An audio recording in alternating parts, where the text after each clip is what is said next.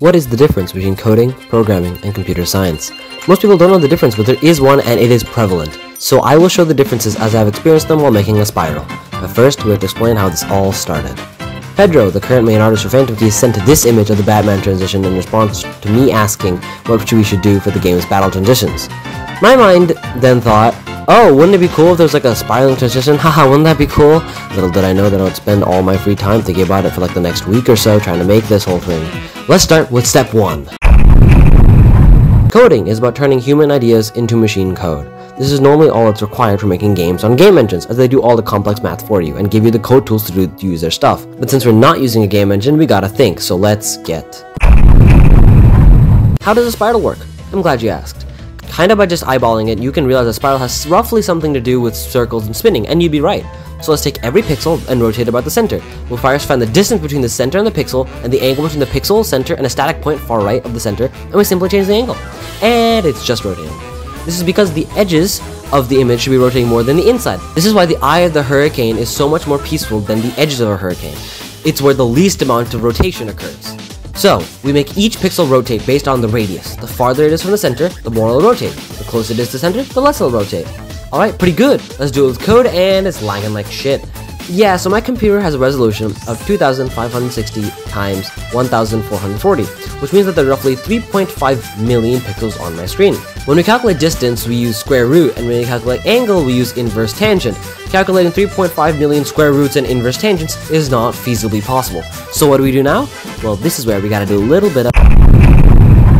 First off, inverse tangent is stupidly expensive, but I found that the positive part of this equation is actually pretty close to the positive part of inverse tangent, and since inverse tangent is an odd function, we can mirror this to get an inverse tangent approximation that only uses a few divisions, multiplications, and additions. Well, it's better, but it's not nearly good enough. Now it's finally time to apply some. First and easiest thing to do is ask C++ to optimize the code compilation. Humans write code in English, and C++ turns it into binary for the computer to run. This process of turning code into binary is called compilation. The C++ compiler has options for if you want C++ to look for optimizations in your code while compiling it. I don't have it enabled all the time because it roughly doubles the time it takes to compile the code, which will make the game more efficient to run, but it'll make it a lot harder for me to test and recompile over and over again. The next thing to do is do a little thing called multi-threading. As some computer nerds know, your computer has many processors, and processors are actually what run the programs on your computer. When you run a program, only one of your processors can actually run it at a time, and the rest are just chilling doing other stuff. So, if we make our program run many other sub-programs, we can actually utilize the other processors that your computer has. If we take the whole screen divide into sections, we can make each of the sub-processes do the math with each section. This substantially helps, but it isn't what we need to push us to the final frontier of no lag. That's where we get to the really nitty-gritty computer science.